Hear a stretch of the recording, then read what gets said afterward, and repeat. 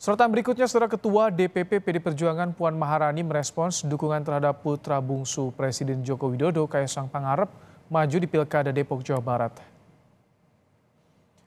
Namun demikian, Puan akan mempertimbangkannya terlebih dahulu dan menawarkan kepada Kaisang untuk bergabung ke PDIP. Puan menambahkan tawaran tersebut sebagai respons ramainya dukungan kepada Kaisang untuk maju di Pilkada Depok 2024 mendatang. Untuk Kaisang, Mas Kaisang boleh juga ya kayaknya masuk Depok ya PD.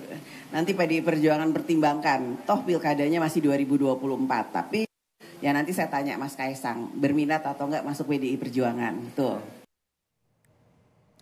Sementara itu, Partai Solidaritas Indonesia menyambut positif Puan Maharani merespons dukungan terhadap Kaisang maju di Pilkada Depok. PSI berharap sejumlah parpol lain bisa memiliki pandangan yang sama menjaring pemimpin kota Depok ke depannya. Parpol lain yang sudah menyatakan sikap untuk mendukung Mas Kaisang di tahun 2024 nanti. Sebagai partai pengusung pertama, kami menyatakan kami bersedia untuk menjadi wadah sebagai wadah perjuangan.